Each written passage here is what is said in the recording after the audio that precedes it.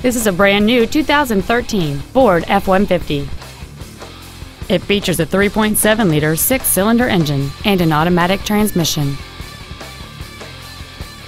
All of the following features are included. A double wishbone independent front suspension, a low tire pressure indicator, traction control and stability control systems, 17-inch wheels, an engine immobilizer theft deterrent system, an anti-lock braking system, side curtain airbags, door reinforcement beams, air conditioning, and an auxiliary power outlet. Stop by today and test drive this vehicle for yourself. Five Star Ford of Plano is dedicated to doing everything possible to ensure that the experience you have selecting your next vehicle is as pleasant as possible. We are located at 4400 West Plano Parkway in Plano.